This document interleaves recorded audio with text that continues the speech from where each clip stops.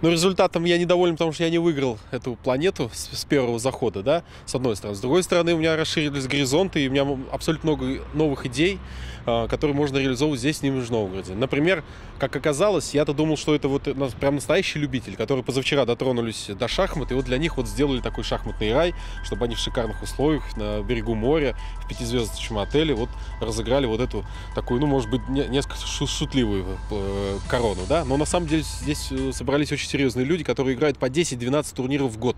То есть, по большому счету, по такому графику наши мастера э, как бы не идут, как нежели вот эти любители. Поэтому я что подумал, что вот в России, недаром представителей России было не очень много, потому что для нас как-то это вот, ну, может быть, не очень понятно э, выглядит. Я, кстати, вот э, второй результат среди представителей России там показал. Так вот, я думаю, что в Нижнем Новгороде мы начнем с того, что мы сделаем чемпионат России среди любителей.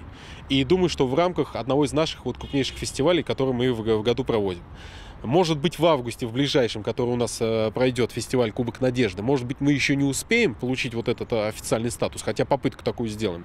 Но уверен, что уже э, э к мартовскому Кубку Минина и Пожарского 2016 года мы обязательно это соревнование такое сделаем. А дальше посмотрим. Может быть, и Европу сюда, и мир тоже организуем здесь. То есть глобальная задача, чтобы все-таки привлечь вот к такой колоссальнейшей, интереснейшей турнирной жизни всех вот настоящих любителей шахматы, которые вот ну, по-настоящему любят и эту игру, и совершенно неважно, в каком возрасте они в нее э, пришли. Например, вот там мне удалось э, в третьем туре сделать ничью э, с 76-летним вице-чемпионом мира среди любителей 2012 года, господином Бессарабом там из Тюменской области.